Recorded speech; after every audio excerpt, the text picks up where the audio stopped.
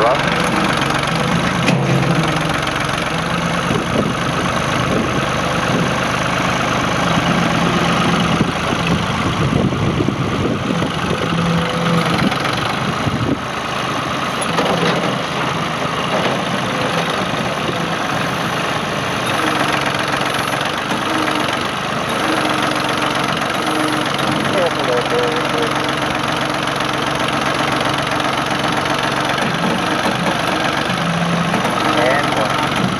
Coming to the showcase, so I got a few items